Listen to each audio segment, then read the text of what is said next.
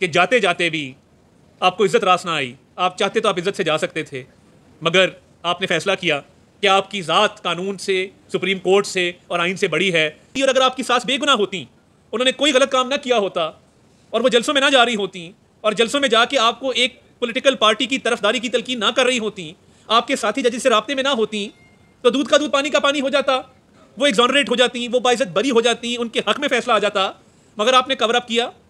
आपने उसको, उसकी तहकीक होने नहीं दी। और फिर आपने कहा कि उस वक्त की हुकूमत ने इल्ज़ाम लगाए हैं। आज आपने बहुत बड़ा एन आर ओ दिया है अपनी सास को। और ये judicial N R O this is the mother of all N R Os which has been given to a mother in law ये मैं रिपीट कर देता हूँ। ये जुडिशल एन आर ओ एक बहुत बड़ा एन आर ओ दिया गया है which is the mother of all N R Os for the benefit of a mother in law यानी ये माँ है तमाम एन आर ओज की, जो सासू माँ के लिए किया गया है। इंसाफ भी कर सकते थे, नया बेंच भी बना सकते थे, और तारीख में ऐसा कभी नहीं हुआ कि एक दामाद ही अपनी सास को बेगुना करार दे दे तकनीकी बुनियादों के ऊपर, उसका केस आगे ना चलने दे, कमीशन ना बनने दे, और फिर जो उस पर बात करें, उन्हें क्या तुम तोहीन कर रहे हो तो जज भी आप खुद हैं, वकील भी आप खुद हैं, मुदई भी आप खुद हैं, मुलजिम भी आप खुद हैं। ऐसा पहले होते नहीं देखा।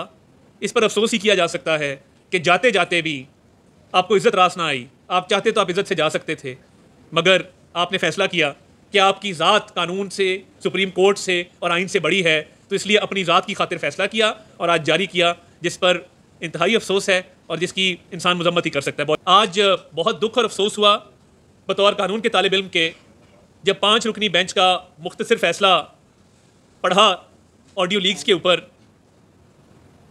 मैं अब क्या कह सकता हूँ कि आपकी अपनी सास हैं, जिनकी वो ऑडियो है और आप ही उस बेंच को हेड कर रहे हैं और उसके साथ साथ एक और जज साहब का उस ऑडियो में ज़िक्र है, मुनीब साहब का।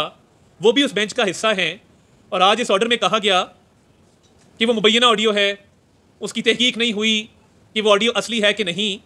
तो कमीशन किस लिए बनाया गया था? जब जुडिशल कमीशन बनाया गया है, वो इसी बात की तहकीक के लिए बनाया गया है कि ये ऑडियो असली थी कि नहीं थी।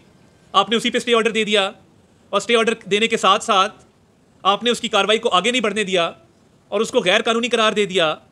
तो ये कहाँ का इंसाफ है कि आप अपनी सास का, की ऑडियो का केस अपने पास लगाएँ, उस पर स्टे दे दें, उस कमीशन को आगे चलने ना दें, उस कमीशन को तकनीकी बुनियादों पर रोक दें और फिर कहें कि वो मुबैना ऑडियो थी, इस बात की तहकीक ही नहीं हुई कि मेरी सास थी कि नहीं थी।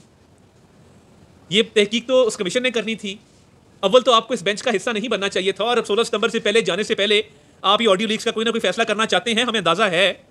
मगर वो कहते हैं justice should not only be done but manifestly seem to be done इंसाफ सिर्फ़ होना नहीं चाहिए इंसाफ होता नज़र आना चाहिए आप किसी और जज साहब की सरबराही में बेंच बना देते। आप मुनीब साहब जिनका वो ज़िक्र कर रही हैं कि मैंने मुनीब को भी मैसेज किया है कि लाखों लोग हैं तरीके इंसाफ के जलसे में और ये दुआएँ दे रहे हैं तो इनके हक में फैसले करने हैं। जब इस तरह की ऑडियो में एक और जज साहब का ज़िक्र है, उनको तो रजा कराना तौर पर बेंच से लैदगी इख्तियार कर लेनी चाहिए थी।